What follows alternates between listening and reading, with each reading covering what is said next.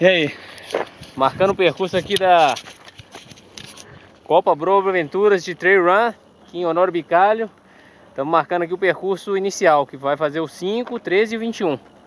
Tá massa, o ambiente é legal. A vista dessa parte aqui que é planinha depois da subida inicial é sensacional.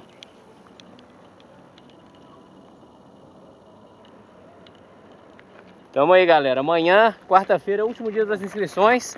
Vambora, brutalidade.